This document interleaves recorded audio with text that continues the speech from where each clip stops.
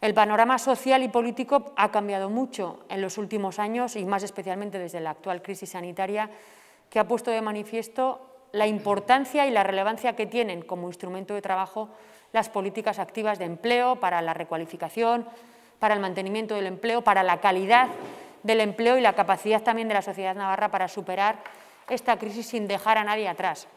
La formación, la empleabilidad, ambas caras de la misma moneda, tenemos el deber de trabajar especialmente con los colectivos que más han sufrido el embate de esta pandemia y en los últimos informes de empleo tenemos claro cuáles son esos colectivos. Son mayoritariamente personas jóvenes y también mujeres.